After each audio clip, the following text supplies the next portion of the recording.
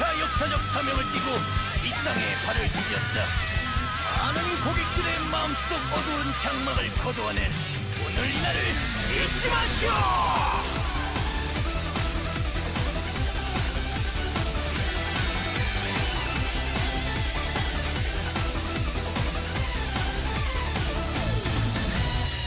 사는 게 힘들 때 어서오쇼!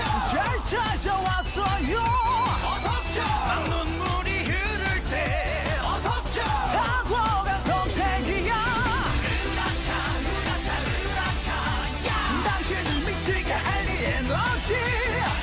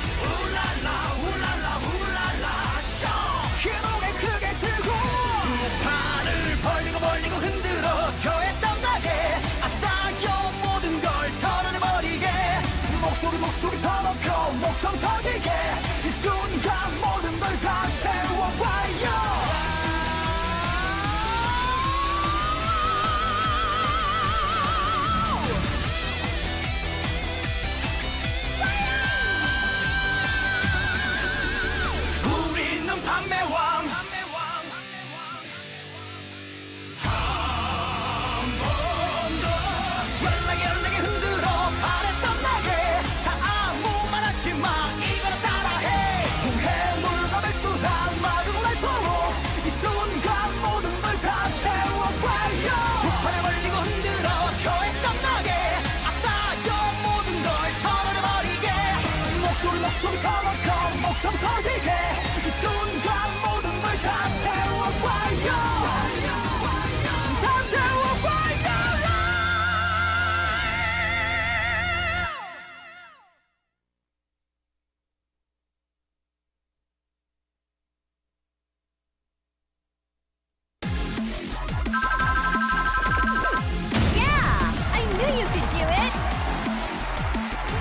New record!